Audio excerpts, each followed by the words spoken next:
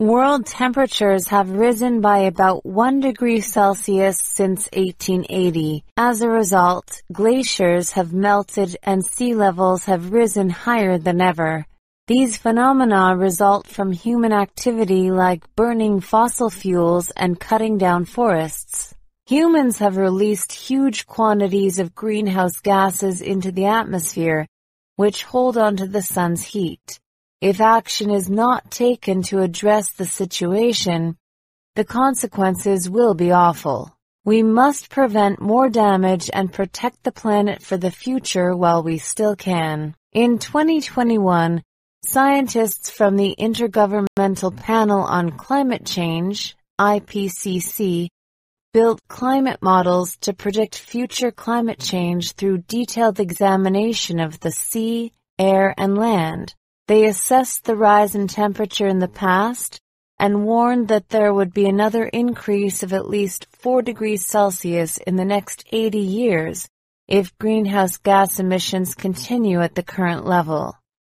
Rising temperatures will melt the glaciers in the polar regions, causing sea levels to rise even more than they have. Moreover, warmer air will result in more and stronger storms. These climate models have shown that if we do nothing to protect the planet, the effects will be much more devastating than they are now. Although global warming has continued, there is evidence to suggest that the damage it will cause can be minimized if action is taken immediately. In fact, in 2015, the governments of nearly 200 countries signed the Paris Agreement, a pledge to cut greenhouse gas emissions in half by 2030. Thanks to the Paris Agreement five years ago, temperatures have risen by 0.6 degrees Celsius less than what was predicted by the climate models. What's more, the climate models also tell us that if we continue to follow the current policies on reducing emissions, temperatures won't rise by more than 3 degrees Celsius. The success of the Paris Agreement tells us that it is what we choose to do today that determines the climate of the future. It is important for everyone to stay alert to the rising temperatures and take steps toward reducing greenhouse gas emissions.